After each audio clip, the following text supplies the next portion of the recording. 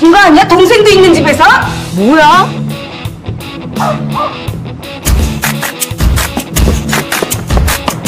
갑자기 나타나서 왜 난리야? 지금 너무 난리야. 미리 잡아야 돼. 가게트 들고 튀었어.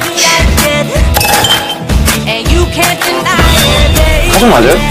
가족은 다 같아야 하니? 이리 와봐. 니네 혹시 정일이라고 아니? 순덕이라고는 하지 마. 넌 엄마라고 하지 마라. 우리 엄마 옛날 별명이 이태원 다이아몬드. 가.